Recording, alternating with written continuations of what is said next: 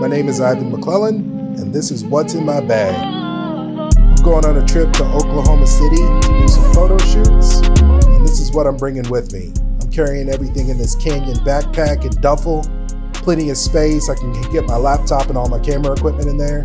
I'm wearing these Cartwright goat leather boots by Tecovas, very comfortable.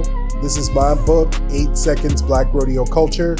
I'm going to be giving that out to some people as a gift. I carry these stones with me. They're lapis and tiger's eye. I bring those everywhere I go. This is my trusty camera, the Fuji X-E1. I've had this for years, great pictures.